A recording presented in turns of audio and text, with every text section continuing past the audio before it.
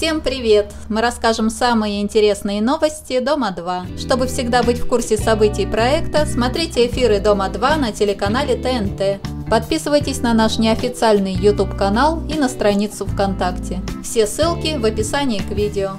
Ольга Рапунцель рассказала, как увековечила своего мужчину для конкурса «Свадьба на миллион». Она написала стихотворение для Димы и сделала книжку, а Дима смастерил куклу своими руками. Как сообщили зрителям в новостях «Дома-2», самая завидная невеста телепроекта сейчас Лиза Полыгалова.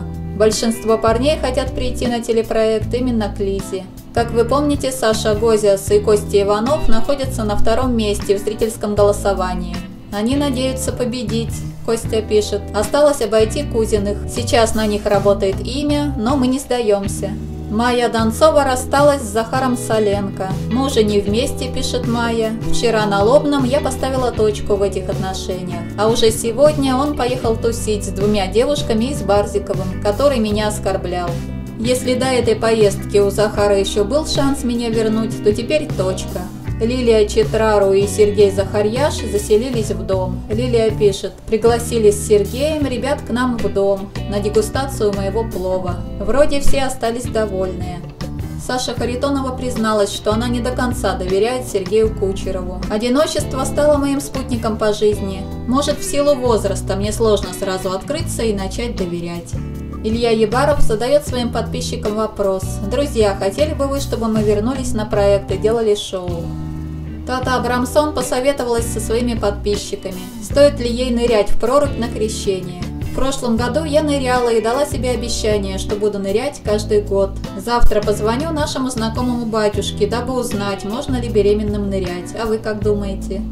Женя Феофилактова удивлена большим количеством слухов вокруг ее персоны. «Боже, сколько сплетен вокруг меня», – пишет Женя. Люди, совершенно не имея фактов, пишут какие-то небылицы. Кто-то делает выводы, исходя из телепроекта «Дом-2». Люди, придите в себя, это шоу. Вам что не покажи, вы во все верите. Вы что, так нельзя. Мне, конечно, лестно, что, видимо, я интересная личность, но порой вы переходите все границы. И Женя пообещала своим подписчикам иногда отвечать на их вопросы чтобы пресечь сплетни. Три мамочки телепроекта Ирина Гибалова, Татьяна Африкантова и Ольга Габозова отправляются выяснять свои отношения на канал НТВ. Как вы помните, Африкантова оклеветала Гибалову, которая в свою очередь собралась подавать на нее в суд за клевету. Ольга Васильевна поддержала Африкантову и в свою очередь обвинила Ирину Александровну во вранье. Габозова написала «Вы на канале «Россия-1» в прямом эфире обвинили меня, что я виновна в болезни Светланы Михайловны. Так вот, у вас будет суд с Татьяной Владимировной, я приеду и тоже подам в суд за клевету. Марина Мексика хочет выпустить собственную линию одежды. Что бы вы хотели увидеть в моем личном стайле, пишет Марина. Как вы помните, Ольга Бузова сообщила в Инстаграм, что возвращается на театральную сцену. Она сыграет одну из главных ролей в спектакле «Мужчина на расхват».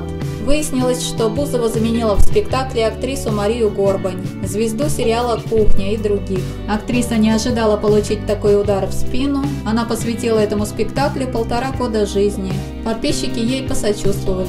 На этом все. Спасибо, что были с нами.